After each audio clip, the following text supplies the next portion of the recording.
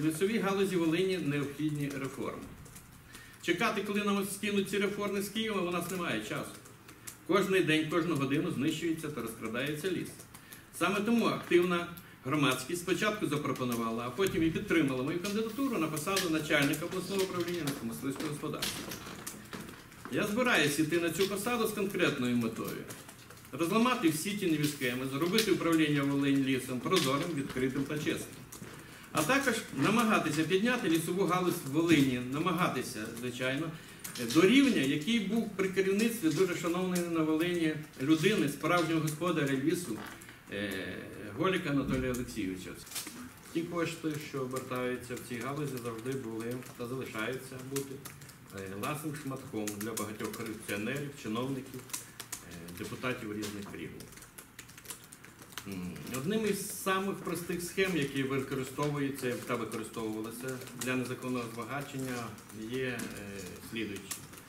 Це продажа лісу та продукції з нього, що виготовляється лісгосп, виготовляють лісгоспи.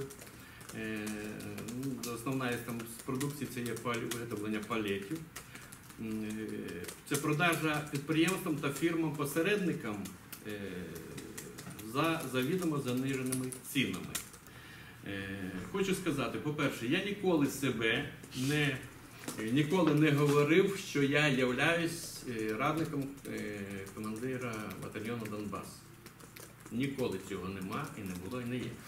На підтвердження цих слів я хочу, будь ласка, показати вам особову картку. Це особова картка, яка була надана кадровій комісії та громадській раді, де є повністю моя автобіографія. І з пунктами є, з якого по яке я був в батальйоні Донбас, призначений заступником командира першого взводу, це взвод розвідки. А е, з 5.03.15 року я є в окремому 46-му окремому батальйоні спеціального призначення Збройних сил України Донбас, Україна, радник командира батальйону.